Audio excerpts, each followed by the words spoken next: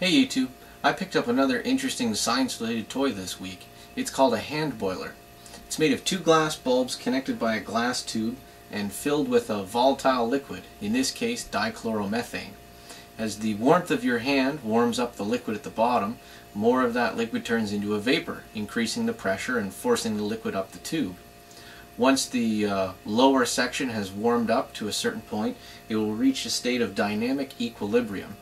So bubbles will continue to rise through the tube, but as they pass through the cooler liquid, they begin to condense, smaller and smaller until there's nothing left but the liquid.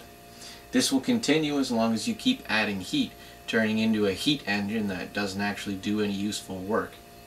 I'm going to use my slow motion camera to take a look at that last section of tube as you can see those bubbles collapsing back into a liquid. Here you can see the dramatic decrease in size of those bubbles of vapor. As those bubbles are cooled by the liquid that's passing by them, uh, they turn back into a liquid, condensing against the insides of that bubble.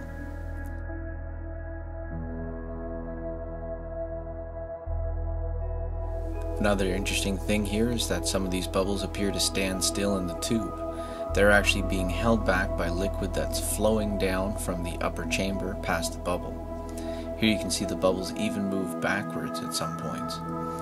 All of that vapor that's uh, condensing back into a liquid has to be replaced with something, and that's liquid from the upper chamber moving down past it so that it can become vaporized in the lower chamber. This whole process works because dichloromethane is a very volatile liquid. Made of two hydrogens, two chlorines, and a carbon atom, its boiling point is just under 40 degrees Celsius. That means that the energy from your hand is more than enough to turn some of that dichloromethane into a vapor. If you were to use another liquid, like say water, you would have to heat it a significant amount in order to get this same effect to happen. I hope you found this video interesting. If you'd like to see more like this, check out my channel. Thanks for watching.